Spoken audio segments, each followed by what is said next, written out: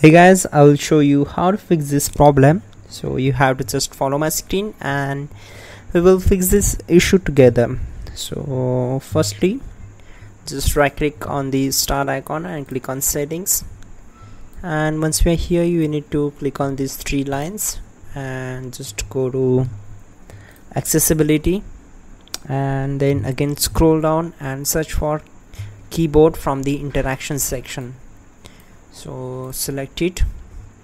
And now you have to uh, just enable this option on screen keyboard. So the keyboard will pop up on your screen.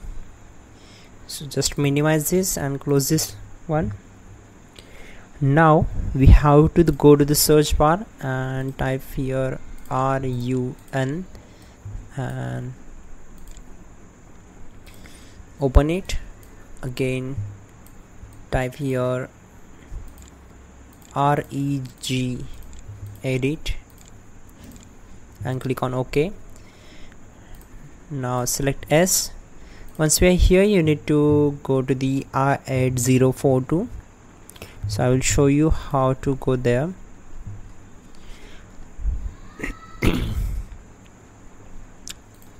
I will go back to the main screen and I will show you how to do it. So first of all you have to expand the HK local machine. Then go to the system folder expand it. Now you have to uh, open the current control set so simply click here to expand it. And then you have to expand the services folder. And from here you have to find out the uh, folder i8042 port. Simply select it and on the right side you you will you have to right click on the start select modify and change the value data as to 1 and click on ok. So close this one and again go to search bar. Uh, you have to find out the device manager. You can use this on screen keyboard again you can directly right click on the start icon and select device manager. And from here you need to expand the drivers of keyboards as well as uh, the uh, mice and other pointing devices. So firstly we will expand this one.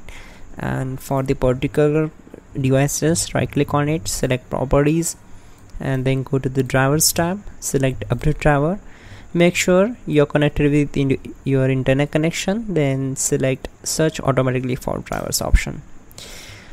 Then the best drivers will be installed automatically. Now close this window close this one also then expand this one. And for the particular device you have to right click on it select properties. Again go to the drivers tab select update driver and select search automatically for your drivers. And then close all windows one by one. And you have to just restart the system. That's it guys. Don't forget to like the video and please do subscribe the channel. Please check out the pin comment. That will also help you a lot to fix this problem. So you are good to go